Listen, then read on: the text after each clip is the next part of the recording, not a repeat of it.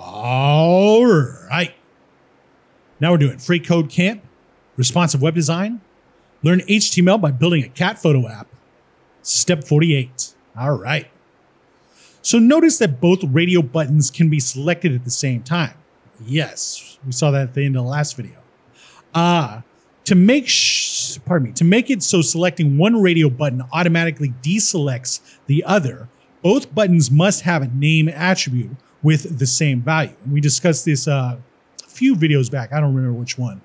Uh, so we're going to add the name attribute with the value indoor slash outdoor, pardon me, indoor dash outdoor to both radio buttons. All right.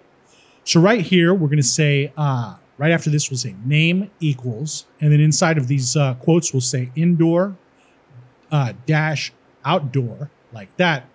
And then we're going to copy it from uh, this, what is it? This double quote all the way to the end of this uh, single quote. We're going to take the space with us and we'll come down here right after this double quote and drop it off thusly. All right.